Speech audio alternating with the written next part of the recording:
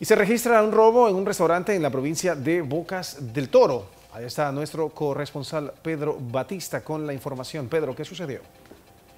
Así es, buenas tardes compañeros, amigos televidentes. En efecto, pues un robo se registró en segunda ocasión en un restaurante en el sector de Corrugado, acá en la provincia de Bocas del Toro, específicamente en el distrito de eh, Changuinola, donde los dueños de lo ajeno pues aprovecharon las horas de la madrugada para cometer su fechoría, logrando pues eh, vandalizar este restaurante. Lograron llevarse 50 balboas y también intentaban llevarse un plasma, pero eh, producto de una ronda policial que pasaba cerca al lugar en ese momento, pues salieron corriendo y hasta el momento no hay personas detenidas por este caso. Los dueños del local comercial han tomado la decisión de no presentar la denuncia ya que la primera vez que se registró el robo, pues aún no hay detenidos y ellos se encuentran muy indignados por esta situación. Pero vamos a escuchar parte de lo que señala la propietaria de este restaurante, eh, La Herrerana, acá en Changuinola. Adelante.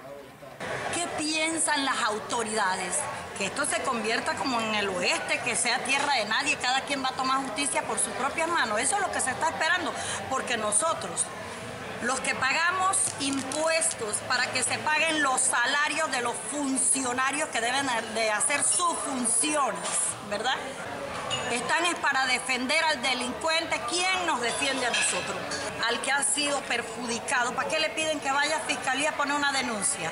Y al perder tiempo, ya eso nos resta más de lo que nos han restado también los delincuentes. Aparte, nos roban los delincuentes y nos roban el tiempo ellos también, declarando y en pendejadas que no llegan a ningún lado parte de lo que señala pues Luz Peña, propietaria de este restaurante en el sector de Corrugado, donde pues por segunda ocasión los dueños de lo ajeno hacen de la suya. Por este caso tampoco hay detenidos por lo que eh, en este sector de Finca 6 la comunidad también se mantiene alarmada por los constantes casos de robo que se han registrado en los últimos días, sobre todo en comercio. Así que es lo que le podemos informar desde la provincia de Bocas del Toro. Volvemos con ustedes a los estudios con más de la edición mediodía de Next Noticias. Adelante, compañeros.